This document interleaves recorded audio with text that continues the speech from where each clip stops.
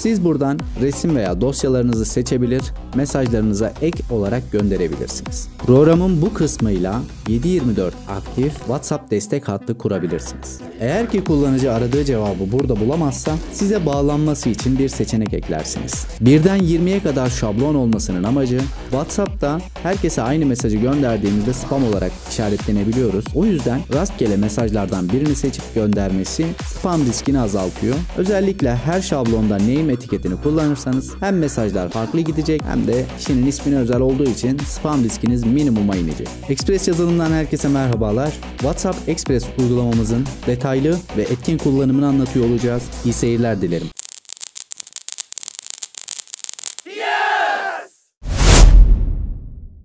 Uygulamayı ilk açtığınızda sizleri karanlık modda bir ekran karşılayacak. Burada ana sayfa, hareket kayıtları, gönderilenler, otomatik yanıt butonları var. Her butonu detaylıca anlatacağım. Bizim öncelikli amacımız kişilere otomatik mesaj göndermek olduğu için burada önce listeyi ekliyoruz. Burada örnek olarak zaten mevcut. Numaraları ekledikten sonra listeye ekle butonuna basmanız gerekiyor. Ekleyeceğiniz numaralar hatalı mı vesaire hepsini buradan otomatik bir şekilde kontrol edebiliyorsunuz.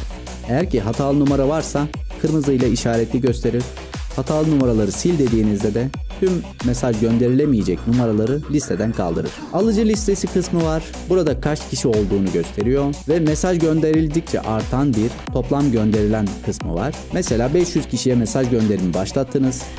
Anlık olarak kaç kişiye gönderdiğinizi buradan takip edebilirsiniz. Listemizi Excel dosyasından toplu olarak ekleyebiliriz. Excel dosyasının birinci sütununda isim, İkinci sütununda da numara olması yeterli. Eğer ki mesajlarınızın içinde name etiketi kullanmayacaksanız yani kişilerin ismiyle hitap etmeyecekseniz birinci sütunda isim olmasına gerek yok. Direkt numaraları kopyalayıp buraya yapıştırabilirsiniz. Binlerce kişiyi tek seferde ekleyebiliyorsunuz. Şimdi gelelim mesaj şablonlarına. Burada görmüş olduğunuz gibi birden 20'ye kadar şablon mevcut. Şu anda şablonların içi boş. Eğer ki bunların tamamını doldurursanız WhatsApp mesaj gönderim sırasında dolu olan şablonlardan rastgele birini seçerek gövdeye yerleştirir ve gönderir. Siz eğer ki sadece bir tane mesaj göndermek istiyorsanız birinci şablonu doldurmanız yeterli. Birden 20'ye kadar şablon olmasının amacı WhatsApp'ta herkese aynı mesajı gönderdiğimizde spam olarak işaretlenebiliyoruz. Ee, o yüzden rastgele mesajlardan birini seçip göndermesi spam riskini azaltıyor.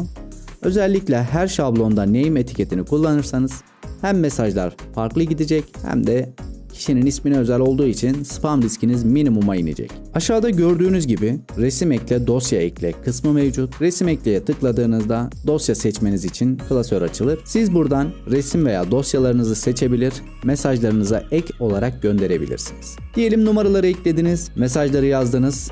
Gönder butonuna bastığınızda Chrome tarayıcınız açılır ve sizden QR kod okutmanızı ister. QR kodu bir defa okuttuktan sonra artık her gönder dediğinizde aynı profili kullanacaktır. Yeniden QR kod okutmanıza gerek yok. Hareket kayıtları bölümüne gelelim. Burada gönderdiğiniz numaraların ve mesajların gidip gitmediğini gösterir. Eğer ki mesajlarınız başarılı bir şekilde gidiyorsa veya gitmiyorsa burada notlar olarak görürsünüz. Gönderim saati, zaman aralığı vesaire size gösterir. Günün sonunda Excel'e aktar diyerek raporu Excel dosyasına aktarıp oradan ayıklama yapabilirsiniz. Gönderilenler kısmı burası daha önce mesaj gönderdiğiniz numaraları tutar. Bir numaraya mesaj gönderdiğinizde 7 gün boyunca aynı numaraya tekrar mesaj göndermemeniz için bir önlem. E, her gün aynı kişilere mesaj atmak istiyorsanız buradan gönderilenler kaydını temizle demeniz yeterli. Gelelim otomatik yanıt kısmına. Otomatik yanıt sizin gönderdiğiniz mesajlara gelen yanıtlarda belirlediğiniz kelimelerde belirlediğiniz mesajlar gidecektir. Ne demek yani? Kişi size merhaba yazdıysa veya selamlar veya SLM gibi kısaltmalar yazdıysa otomatik olarak merhaba ben Express yazılım otomatik yanıt botu Xrobot gibi bir mesaj gidecek. Daha sonra burada kişiye seçenekler sunuyoruz. Size nasıl yardımcı olabilirim? 1 ürünler, 2 fiyatlar, 3 kullanım koşulları, 4 teknik destek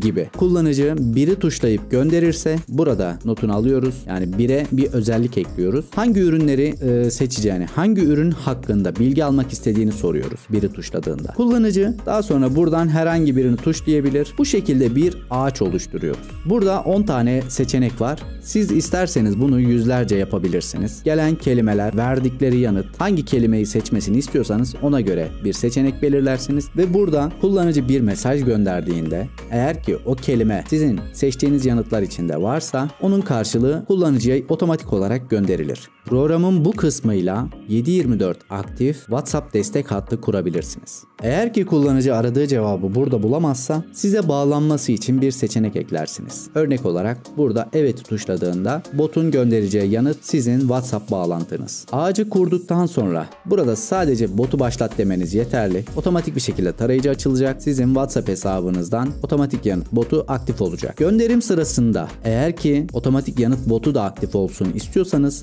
buradan otomatik yanıtı tıklayıp gönder butonuna basmanız yeterli. Programla ilgili aklınıza takılan herhangi bir soru varsa veya geliştirme önerileriniz varsa yorumlarda buluşalım. Kanalımıza abone olmayı, videoyu beğenmeyi ve ihtiyacı olabilecek kişilere paylaşmayı unutmayın. Bir sonraki program videosunda görüşmek dileğiyle. Hoşçakalın.